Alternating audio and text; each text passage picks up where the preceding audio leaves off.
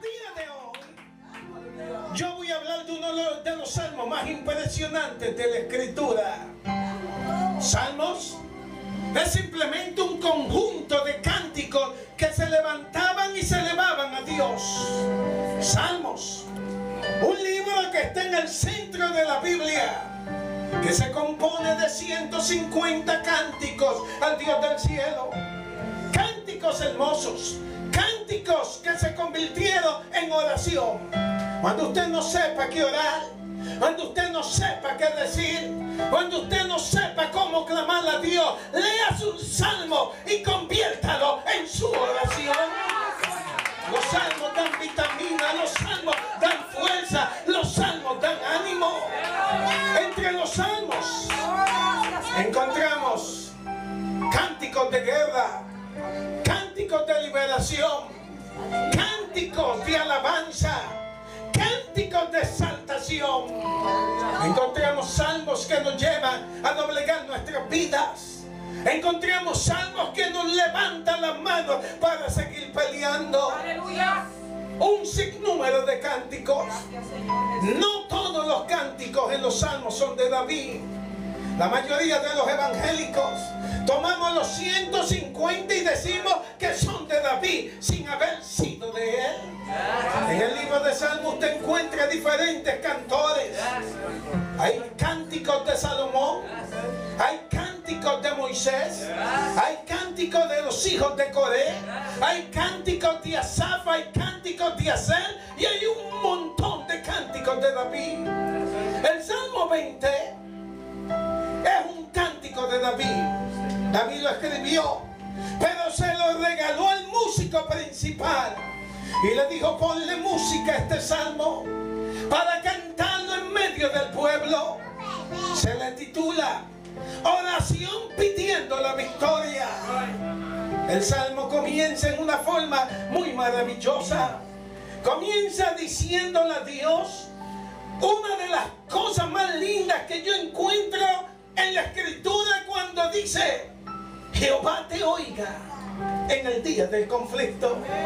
Nos dice que Dios oye la oración.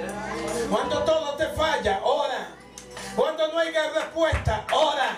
Cuando el hijo se porte mal, ora. Cuando el marido te dé problemas, ora. Cuando te boten del trabajo, ora. Cuando estés enfermo, ora. La oración cambia todas las cosas.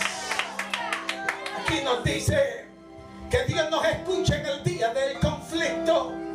¿Qué clase de Dios usted tiene?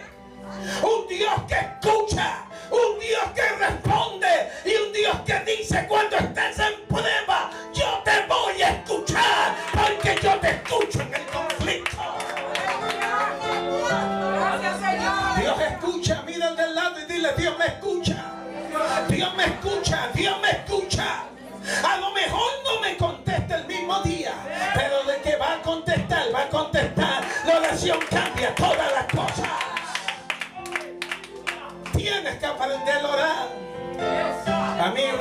yo le he dado nombre.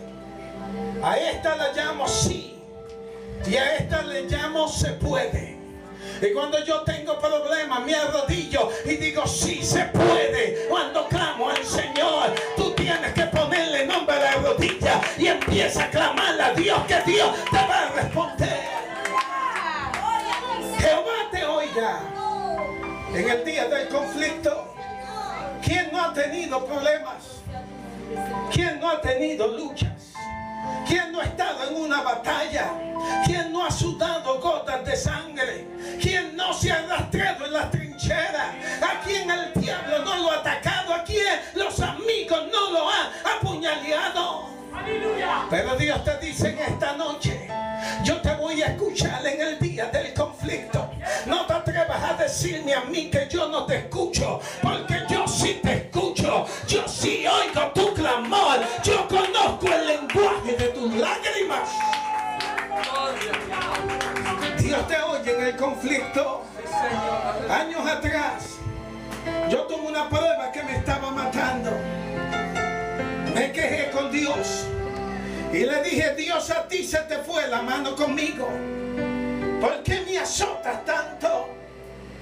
¿Por qué no detienes tu mano y me brindas consuelo y socorro? ¿Por qué no azotan mejor y le permiten las pruebas a esos predicadores sinvergüenzas que hay por ahí? Adúlteros y fornicarios, ladrones y mentirosos.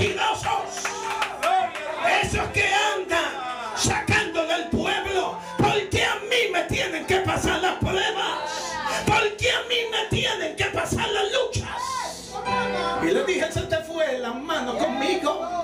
Esta prueba me está matando. Y tú ni siquiera me escuchas. Llegué a predicar a la iglesia de mi amigo Rafael Olavarría, buen pastor. Llego a la iglesia misionera pentecostal. Cuando llego me siento en las primeras sillas. Le dieron parte a una hermana que se llama Delia de Conérico. La hermana no sabía que yo era el predicador. Y me dijo, hermano, póngase de pie que tengo una palabra de Dios para su vida. Inmediatamente me dijo, ¿por qué me dijiste a mí que yo soy un Dios malo? ¿Por qué me dijiste a mí que se me fue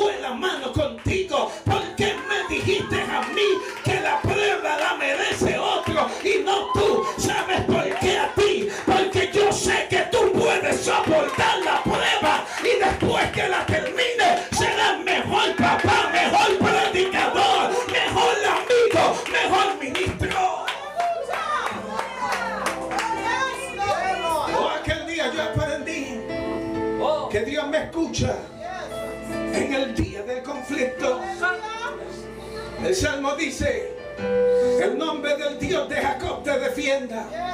Tú no necesitas defenderte tú mismo. No pelees con la gente, deja que Dios pelee por ti. Si te llaman esto, deja que lo diga. No importa lo que digan, Dios te defiende. No está haciendo llamadas para defender su testimonio. Yo escucho gente que me dice, yo defiendo mi testimonio en uña y carne. Yo no tengo que defender nada, que lo defienda el Dios de Jacob. ¿Qué voy a estar yo peleando con la gente? Si de mí han dicho un montón de cosas y muchas más dirán, pero nadie me paga la renta, nadie me ayuda cuando estoy en necesidad. Haga lo que tiene que hacer y deje que Dios lo defienda. Cuando llegamos al Perú, no teníamos dinero para la campaña. Necesitábamos propaganda. Llegó un grupo de reporteros. Inmediatamente un hermano me dijo, estamos bien. Moisés Villegas dice, todo está bien. Hermano Torres Ortega, todo está bien. Llegaron los reporteros, nos van a dar promoción de gratis. Al segundo día, en todos los periódicos del Perú, anunciaron en primera página Santones de Puerto Rico. Han venido a robarle al pueblo. Oiga, eso nos atribuló. Nos tiramos de rodillas, Señor, ¿qué tú estás haciendo? Y Dios dijo, le estoy dando propaganda. Porque cuando yo doy propaganda, yo la doy buena y la doy de gratis. Oiga, hermano, ¿sabe lo que pasó? Pensábamos que la campaña civil la pique en el Gran Alianza Lima, pero nos equivocamos. ¿Saben lo que hizo Dios? Dios se encargó de traer a todos los averiguados del Perú que querían saber cuáles eran los santones y se encontraron con un grupo de jóvenes que lo único que robaba eran almas al diablo, eran rompiendo las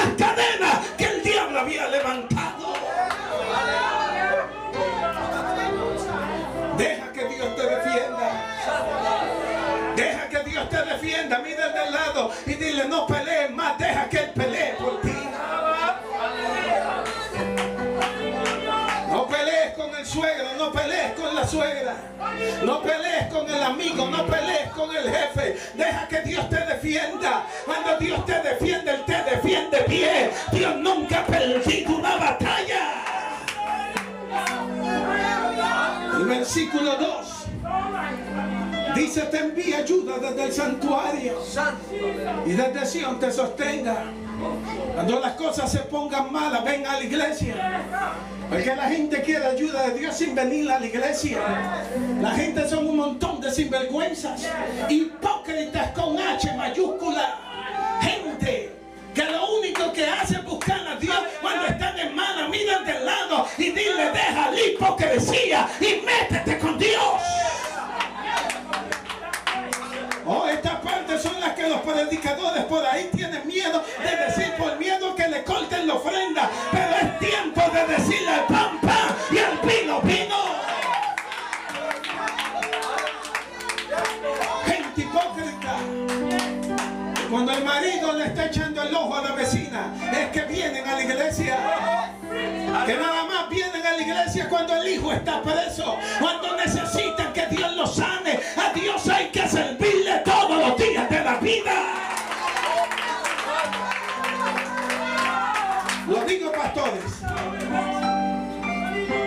Si Dios fuera como usted, qué lío nos buscábamos. Hoy no voy because I'm tired. Hoy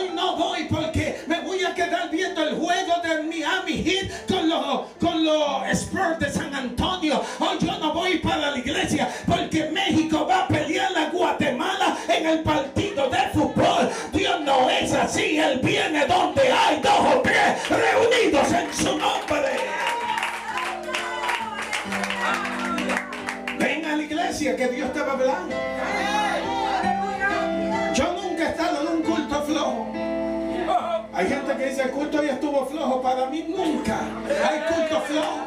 Porque si Dios está ahí, la cosa está Goya. Y si es Goya, tiene que ser bueno. Este Sion te sostenga. Oh, Dios te sostiene cuando vienes a la iglesia. Mira del lado y dile, no te duermes, no te duermas, que camarón que se duerme se lo lleva la corriente. Hora de buscar a Dios en el santuario. Verso 3 dice, haga memoria de todas tus ofrendas y acepte tu holocausto. Pero hay gente que para sacarle un peso se necesita una escopeta recortada que hay que cargar la doble cartucho y hacerla sonar con el clic clac para que suelten un dólar. Si Dios se va a acordar de tus ofrendas, ¿qué problema te vas a buscar? Si lo último que le diste a Dios fue un miserable peso. Y yo no vine aquí a pedir para mí, así que bájese de la nube. No le debe dar vergüenza que gasta todo y no le da nada a Dios. Gente miserable. Gente que ni tiema, mira al del lado y dile, Dios te está hablando a ti en esta noche.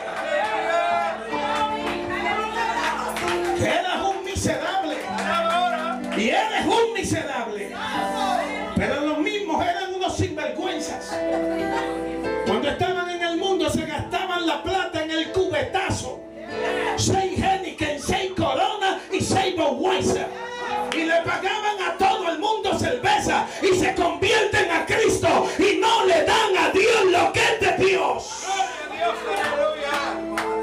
Oh, este templo hay que pagarlo. Ah, la luz hay que pagarla.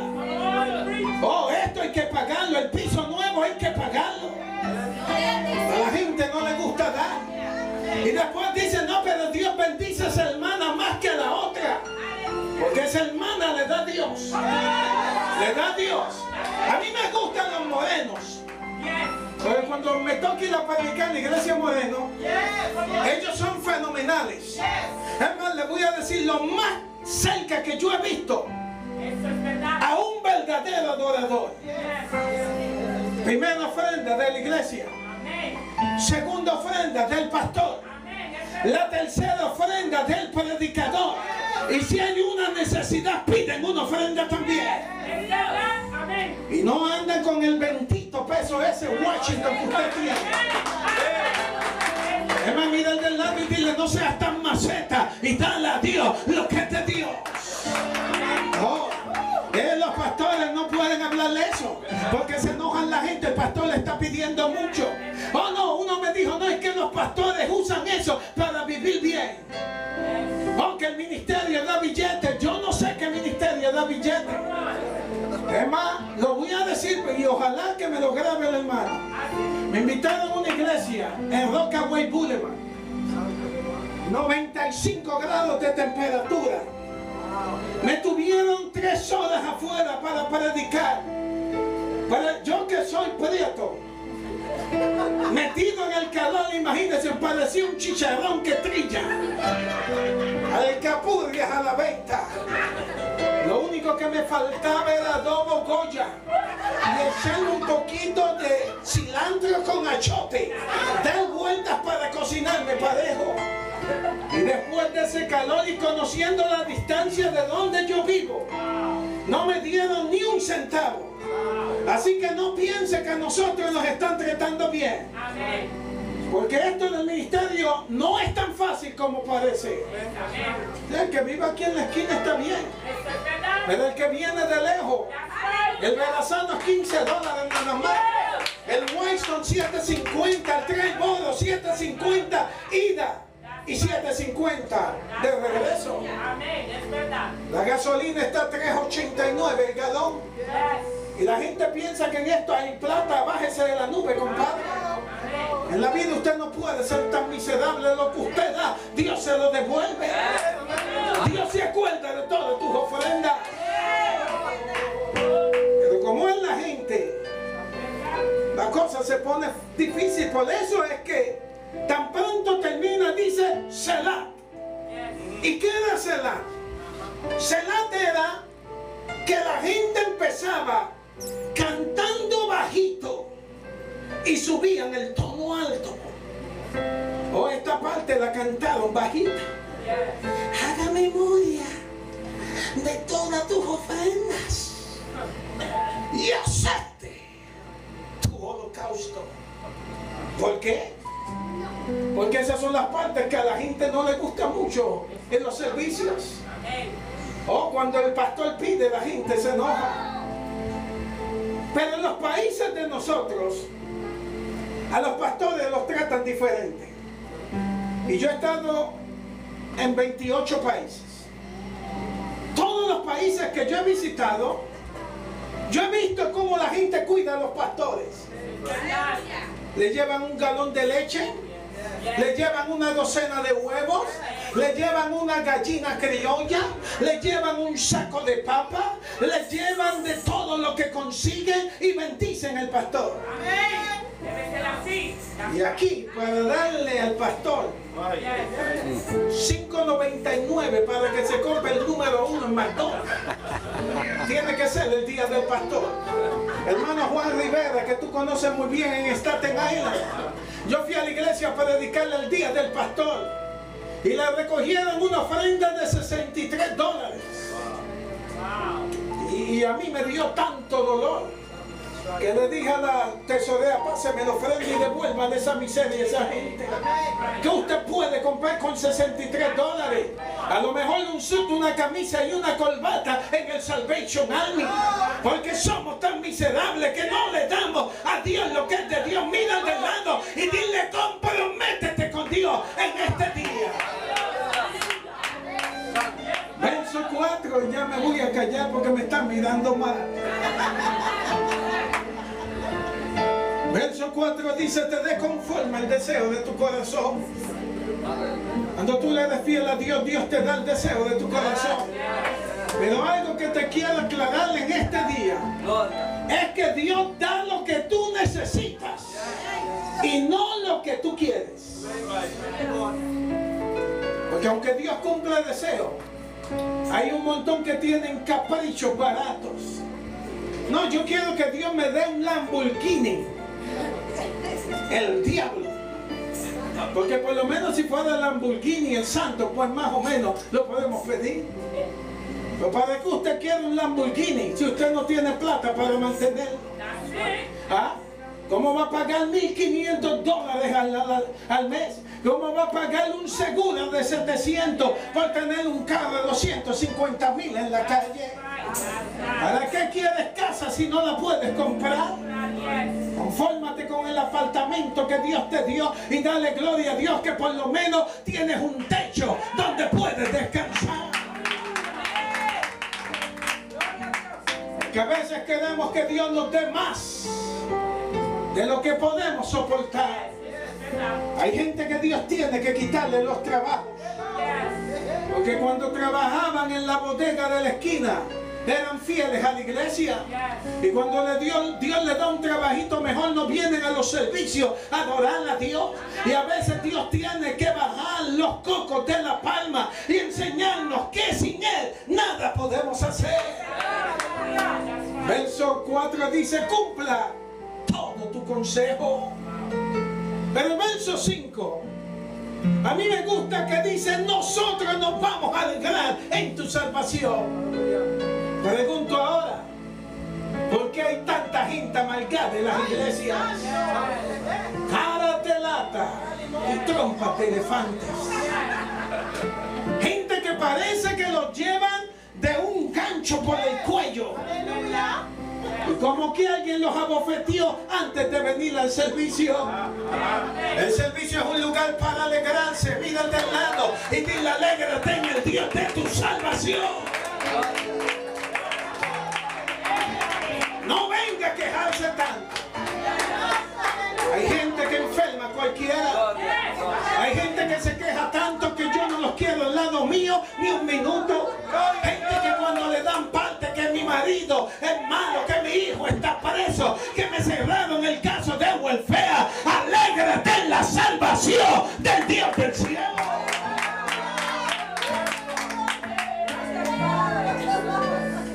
Que los ponen dujieres y son la gente más amargada de la, de la iglesia. Pastores, nunca pongan un amargado en la puerta. Porque usted llega y ese cara de lata le roba la fe a cualquiera. Gente que no sabe sonreír, dígale al del lado, enséñame a ver si tiene dientes. Y si no tiene dientes, alaba a Dios también. Oye, porque nos amargamos. Iglesia vino una hermana y me dijo, oiga hermano, a los 15 años me casé, porque es muy típico en mi país. A los 18 mi marido se volvió alcohólico y lo dejé. A los 19 me recasé. A los 22 años el segundo marido se hizo alcohólico y lo dejé. A los 23 me recasé de nuevo. Y a los 26 años el tercer marido se hizo alcohólico y lo dejé. Y cuando iba por el tercero yo dije, hermana, cállese la boca. Porque todavía yo no me he casado con usted, ya tengo ganas de beber y de dejarla también. Hoy una mujer amargada, una persona amargada, mira al del lado y dile sonríe, alégrate en el Dios de tu salvación.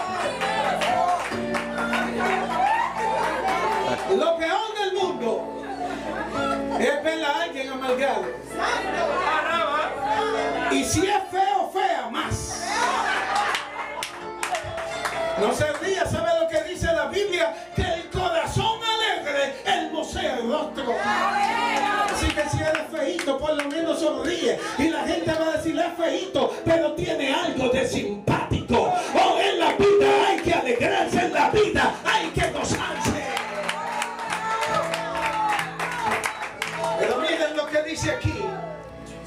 En el nombre del Señor levantaremos pendón o bandera. Gente que no levanten alto el nombre de Cristo. Si ustedes quieren que esta iglesia se vuelva a llenar, inviten a alguien. Díganle a alguien que venga al culto. En la misma forma que tú invitas a la gente a ir al King Plaza Amor. En la misma forma que le dice vamos a Coney Island. Invita a la gente y dile ven a la iglesia. Que en la iglesia Dios se mueve. Cuando alguien te diga tengo problemas con el marido. En vez de decirle yo conozco un abogado allí en Flatbush que en una semana te divorcia. Dile, ven a la iglesia que todavía Dios restaura matrimonio, todavía Dios resuelve problemas. Cuando alguien te diga, oh, que me encontraron cáncer, dile, pues ven a la iglesia, que allí está mi pastor Vicente Castellano, y él tiene una botella de aceite, y ora por los enfermos, y los enfermos se sanan. Invita a la gente a la iglesia. Verso 5 dice, en 5 minutos me callo. Conceda a Jehová todas tus peticiones. Pero el verso 6 dice, ahora conozco que Jehová salva a sus hijos. A veces no nos damos cuenta que Dios nos salva. Pero Dios nos ha sacado de unas muchas y unas tantas. No sé si tú te has dado cuenta de cuánto lío Dios te saca. Imagínense que Dios nos sacara en cara y nos dijera, te saqué de este problema. Cuando te ibas a ahogar fue Dios que te sacó de las aguas. Cuando el carro no te golpeó fue el ángel de Jehová que te protegió para salvarte. Cuando no te agarró inmigración, la migratoria cuando cruzaste, es que Dios te hizo invisible para traerte a este lugar. Dios te ha guardado de mucha. Dios te ha librado de tanta. Y cuida sus ungidos. Aleluya. Gracias, Padre. Verso 6 dice, los oirá desde sus santos cielos. Dios escucha, hermano. Pero me gusta que dice, te va a salvar con su mano derecha. Dios nos agarra de la mano derecha. Cuando te estás hundiendo, Dios te agarra. Cuando no sabes qué hacer, Dios te toma de la mano y te dirige. Cuando tú no sabes a dónde mirar, Dios te dice, mira hacia acá que mi mano está extendida. La mano de Jehová no se ha cortado para salvar. El verso 7 dice, estos confían en carros, aquellos confían en caballos. A nosotros del nombre de Jehová nuestro Dios tendremos memoria. A veces confiamos más en Obama. A veces confiamos más en el sinvergüenza de Bloomberg. A veces confiamos más en aquel que promete un montón de cosas y nunca hace nada. En la vida usted tiene que confiar en Dios. Los maridos a veces se van, las mujeres también. Las familias a veces se rompen, los trabajos te despiden, las casas se queman. El único fiel y verdadero se llama Jesús de Nazaret.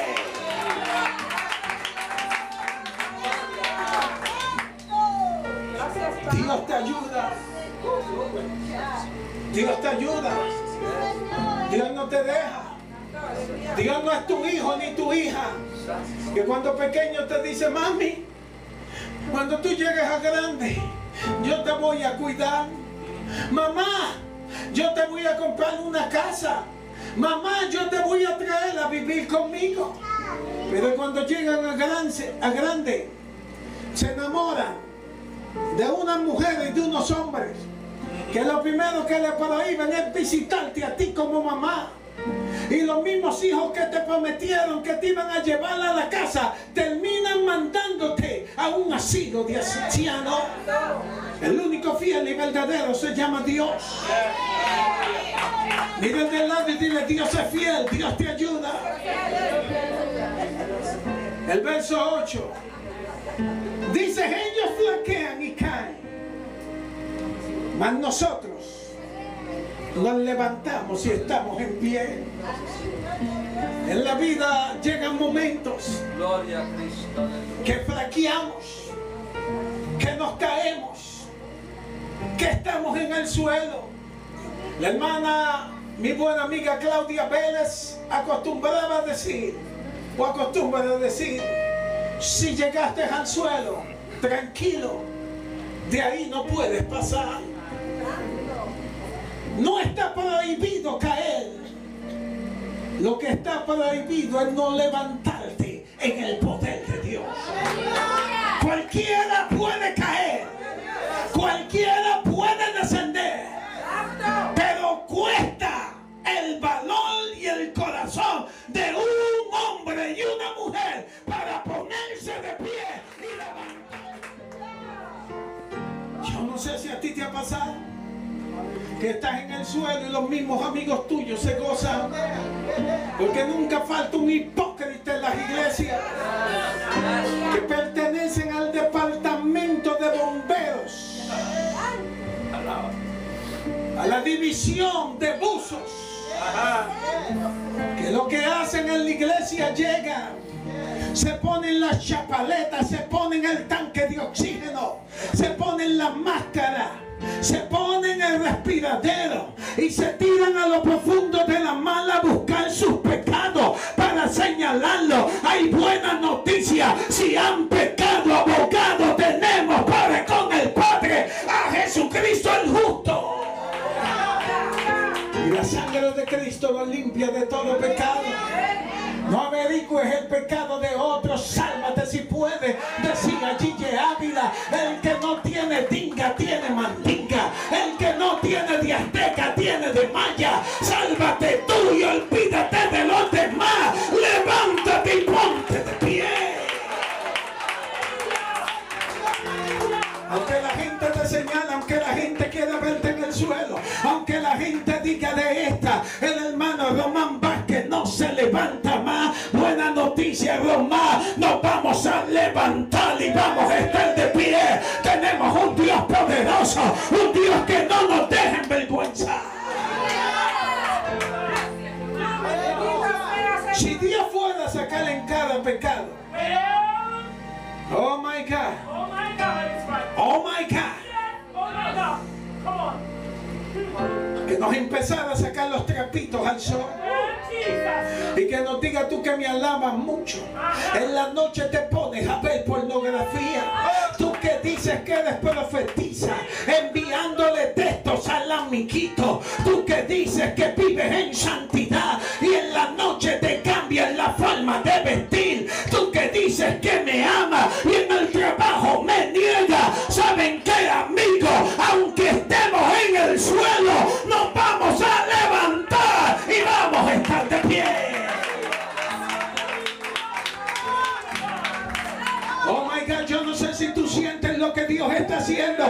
Esta noche estamos declarando que refugio eterno se levanta, que refugio eterno se va a levantar como nunca. Vamos a estar de pie nuevamente. Mira del lado y dile en el suelo, yo no me quedo.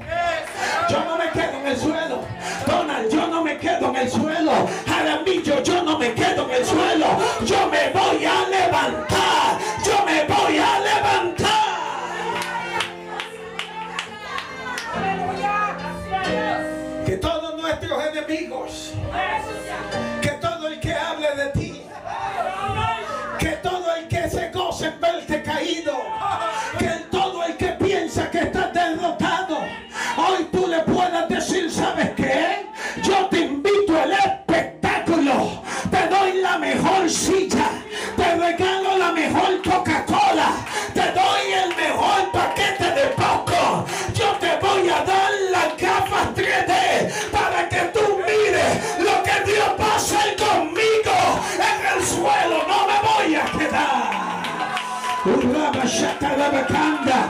Declaramos en este día que nos vamos a levantar. Declaramos en este día. En el suelo no me quedo. Miren del lado y dile en el suelo no me quedo. Oh, oh, oh, this place is not for me. Oh, I'm gonna raise again. Yo me voy a levantar. Yo no me voy a quedar en el suelo. No me voy a quedar.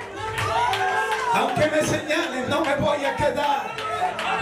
Lo curioso es que los que hablan de ti, los que te critican, hoy no están en el Evangelio, hoy no están con Dios y con piernas flojas y con rodillas plantitas. Nosotros nos levantamos y estamos de pie. ¡Ajá! Oh, yo no sé si tú lo sientes, que hay una palabra profética. Escúchame bien, hoy te vas a levantar, hoy te vas a levantar, hoy te vas a levantar, hoy te vas a levantar.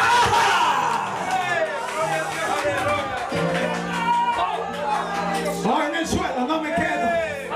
El suelo no es para mí, no. Este suelo no es para mí. Ellos flaquean y se caen, pero yo soy de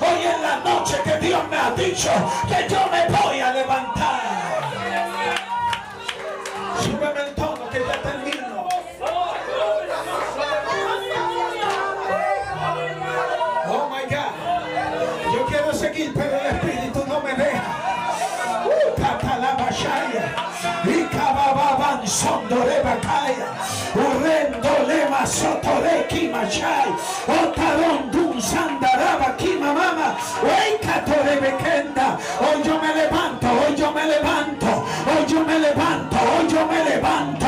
Hoy me levanto, hoy me levanto. Hoy es el día que yo te levanto.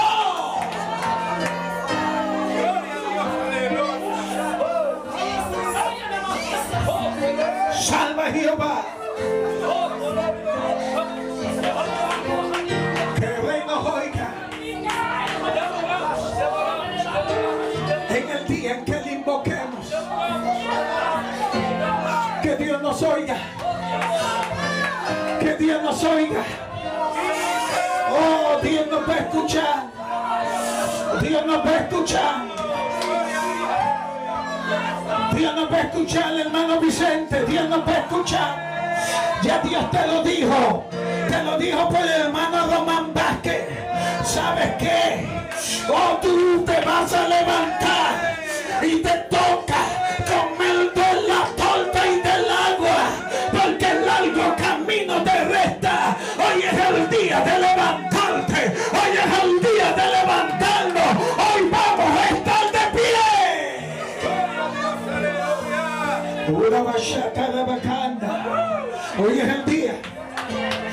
Hoy es el día.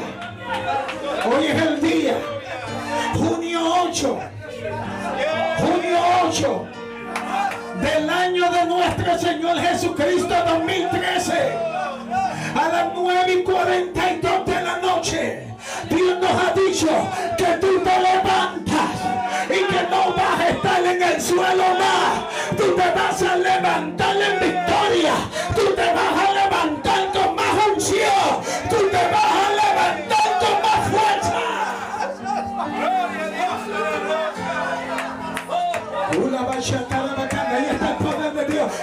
unción de Dios, fluye ahora. Fluye unción y danos fuerza.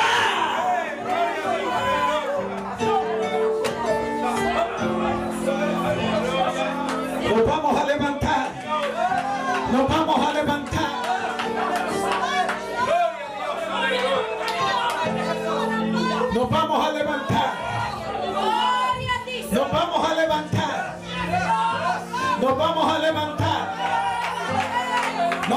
levantar. Nos vamos a levantar. En el suelo no me quedo. Aunque hablen de mí, ahí no me quedo. Aunque me critiquen, ahí no me quedo. Aunque me calumnien, ahí no me quedo. Aunque digan que estoy vencido, ahí no me quedo. Oh, el piso no es para mí. Yo me voy a levantar. Ellos sí flaquean y caen, pero yo me levanto y estoy de pie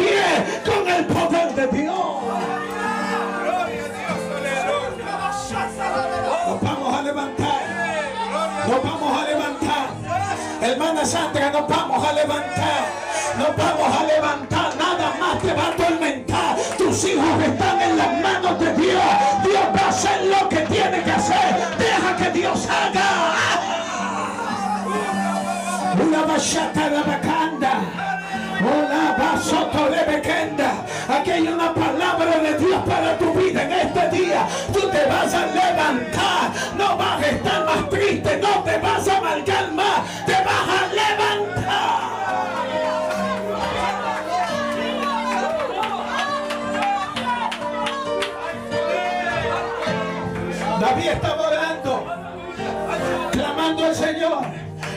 Mi hijo, Sánalo.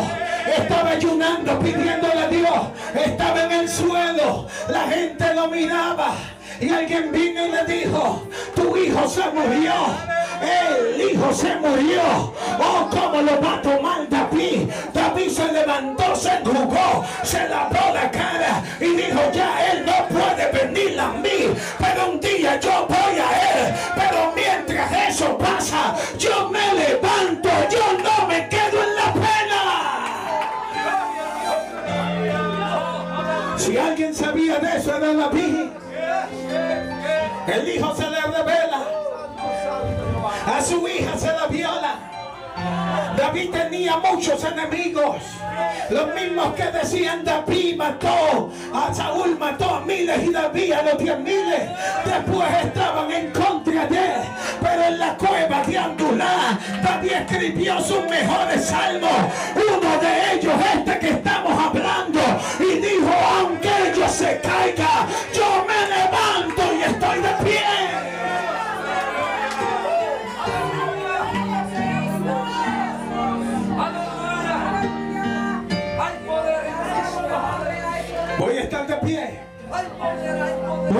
pie.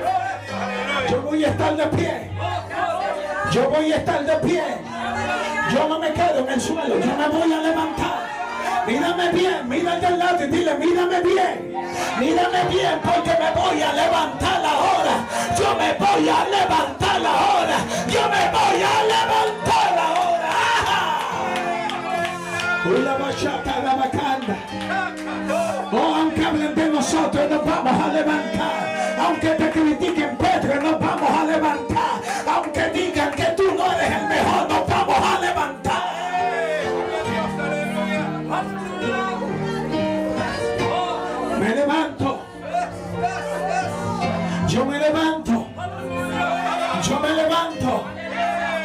Yo me levanto.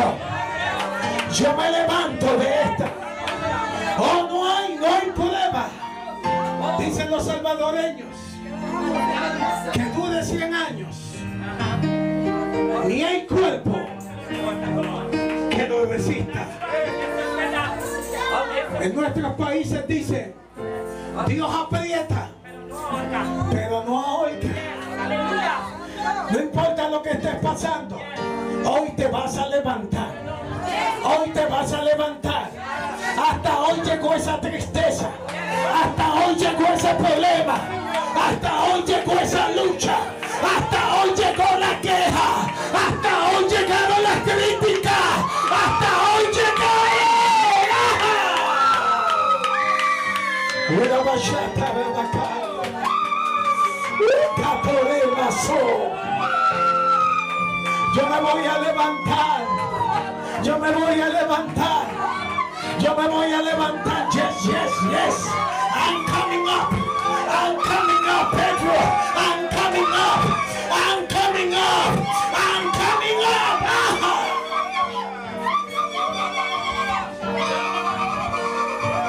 Nos vamos a levantar. Nos vamos a levantar. Nos vamos a levantar.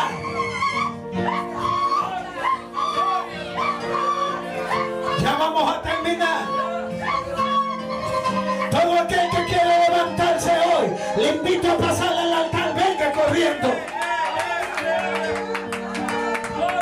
Párese ahí. Todo el que necesite la oración, venga corriendo.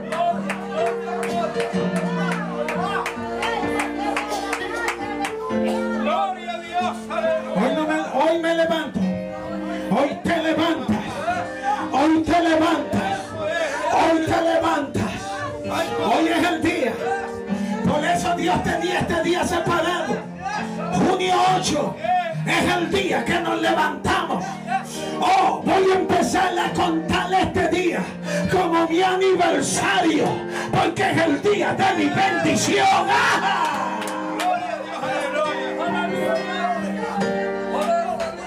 Alguien más que necesite oración, venga corriendo.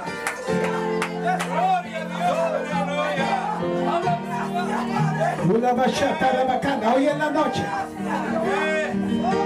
Yo me levanto. Yo me levanto. La gente pensó que yo me iba a quedar en el suelo. Problemas, dificultades. La gente pensaba que yo me quedaba en el suelo. No, no, no. Te doy el mejor asiento. Te doy la mejor silla.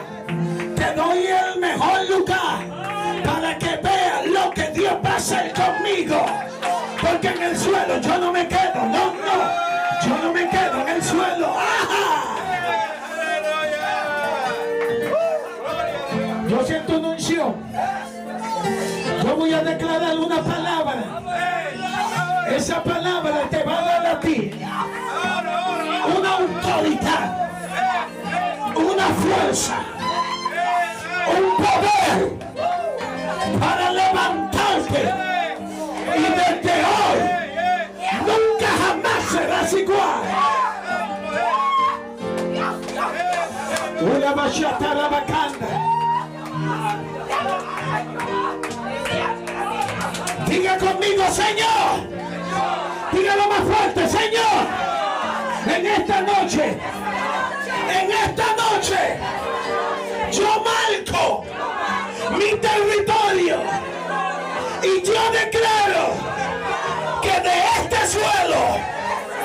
yo me levanto. Señor, yo creo lo que dice tu palabra. Ellos flaquean y caen, mas nosotros estamos en pie. Así que Señor,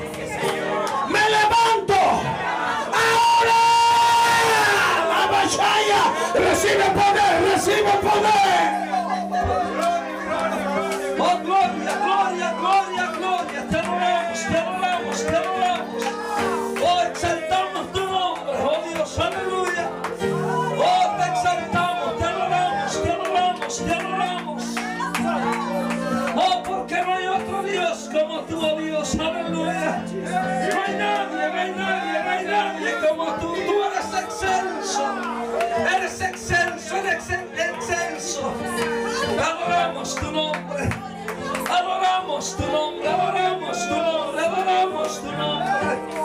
Oh, poder de Dios, poder de Dios, poder de Dios, aleluya. Este es el día, este es el día, este es el día, iglesia. Este es el día de victoria, este es el día de levantamiento. Este es el día, aleluya. Oh, poder de Dios, aleluya. Aleluya. Te adoro, te adoro, te adoro. Oh, te adoramos, te exaltamos, te bendecimos, te honramos. Oh, hay poder, hay poder, hay poder en Cristo, aleluya. Oh, las cadenas se han roto en el nombre de Jesús. Oh, adquirimos la victoria en el nombre de Jesús. Gracias, Señor, gracias, gracias, gracias. Oh, poder de Dios, aleluya. Te adoramos, te adoramos, te adoramos, aleluya. Te alaba, mi alma te alaba, mi alma te glorifica. Mi alma te alaba, mi alma te alaba, mi alma te alaba, aleluya. Aleluya, aleluya, aleluya. Espíritu Santo, fluye, Espíritu Santo, toca, llena. En el nombre de Jesús, en el nombre de Jesús, en el nombre de Jesús. Hay poder, hay poder, hay poder en ese nombre que es sobre todo nombre. Aleluya, te adoramos, te exaltamos, aleluya. Aunque no lo entendamos, te damos la gloria. Aunque no sepamos explicarlo, te damos la gloria, te damos la gloria. Oh, poder de Dios. No hay palabras, Señor, pero te damos la gloria. Oh, gloria a Cristo, aleluya. Te adoramos, Jesús, te adoramos, te adoramos. Al que está sentado en el trono y al cordero sea la gloria. A Él sea la alabanza, a Él sea la adoración, a Él sea el honor. Porque Él se ha vestido de magnificencia, aleluya. Él se ha vestido de poder, aleluya. El Dios de toda la tierra está en este lugar. Él está aquí, Él está aquí, aleluya. Sentimos su presencia. Oh, sentimos su presencia, aleluya.